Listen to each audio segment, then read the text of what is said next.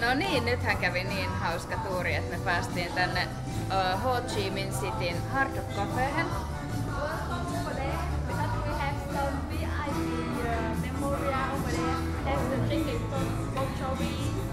Okay. Wow. Okay, thank you. Eli täällä on selvästi vähän tämmöisiä spesiaalinurkkia. Mikäs toi nyt oli? Eli siellä oli pippurkka ja siellä oli sitten tämmöisiä oikein maailmankuuluisuuksia. Okei. Madonna, Bon Jovia ja sitten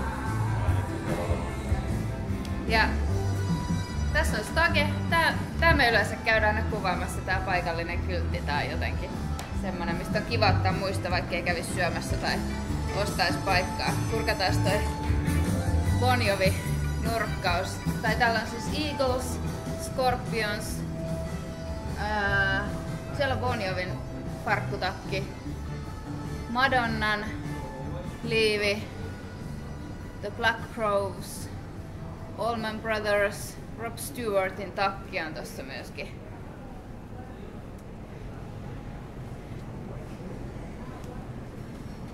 Joo, mä yleensä aina pikkusen kierrän noissa, kun me käydään ja sen verran mitä kehtaan käydä katsomassa noita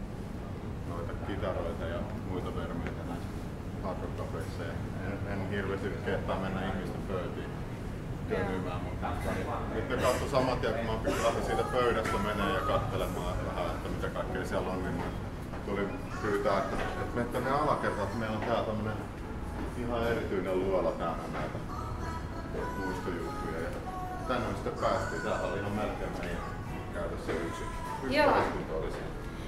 Ja tota, mitä ne sanoo, että täällä on teemana myös se, että äh, ketkä on 27-vuotiaana kuolleita. Joo, näitä artisteja, sehän on semmoinen vanha legenda, että, että ole artisti, jotka mikään ei ole kuollut 27-vuotiaana. Tuossa oli Nirvana ja muuta tämmöistä tuossa tässä kaupan puolella. Jep. Sitten tähän asiaan. Joo, tää on kyllä sellainen paikka, että täältä saa aina hyvää ruokaa, hyvää palvelua ja myös hyvää musaa kuulee. Niin tänne me yleensä könytään aina ensimmäisenä väsyneenä, jos ei me, jos ei me jakseta tota perehtyä vielä paikalliseen tarjontaan.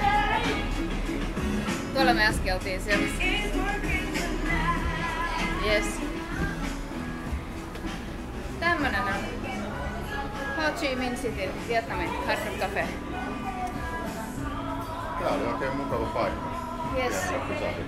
Kyllä, siinä Eric Johnson vielä. Hey, boss.